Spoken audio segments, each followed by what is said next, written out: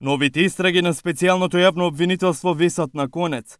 Кривишниот суд ке чека да се произнесе републичкиот јавен обвинител Љубомир Јовевски, дали предметите на СЈО ќе останат во нивна надлежност или ќе ги преземе обвинителството за организиран криминал и корупција. До тогаш кривичен ќе постапува по случаите на СЈО како и досега, заклучиле судиите на колегиумот. Зитните предмети добиени од обвинителството на Катица Јанева по истекот на рокот ќе пресечат кривичните совети на Скопска единица. Од исклучителна важност за судот е правилна и доследна примена на Законот за кривична постапка, кој е од примарно значење во водењето на постапките.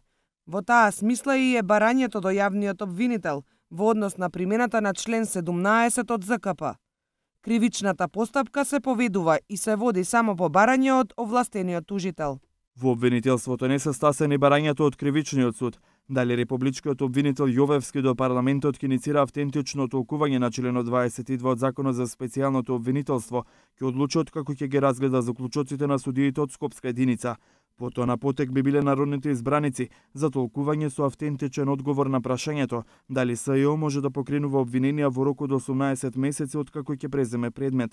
Познавачите го искритикуваа потекот на Врховниот суд. Универзитетската професорка показано право Гордана Лажетик вели дека врховните суди експресно го донеле правното мислење за СЈО. Судите се са најзагрижени како да постапат да утре не бидат повикани на одговорност. Да. Значи, ниту имаме конкретно образложение, не верувам ни дека ќе биде некој што посебно вака да речам фунда, фундирано на некои на некои аргументи, судиите да си го задржат интегритетот и едноставно да си во конкретниот случај да изнесат аргументи зошто одлучиле во определен правец без да се се скираат или да се плашат дека од ова може да произлезе одговорност за нив. За поранешната врховна судика Вера Коцо, највисокиот суд покажал неспособност за решавање на правни прашања она што го донесе Врховниот суд како начелно правно мислење не е во функција на е, обезбедување на примена еднаква примена на законите во судовите, туку напротив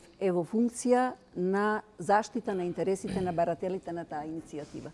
Пред една недела Врховниот суд одлучи специјалното обвинителство да не смее да води истраги и да покренува обвиненија, со образложение дека е поминат рокот од како ги добиле прислушуваните разговори. Иницијативата поднесо адвокатите Еленко Миланов и Боро Тасевски. Одлуката е обврзувачка само за највисокиот суд, што би значило дека предметите може да се одвиваат во кривичниот и апелацискиот суд, но ако се најдат во рацете на врховните судии ќе паднат. Токму поради членот 22 од Законот за специјалното јавно обвинителство, власта и законодавниот дом треба да пресачат дали СЈО да биде автономна институција или да стане дел од редовното обвинителство, за што се потребни законски измени.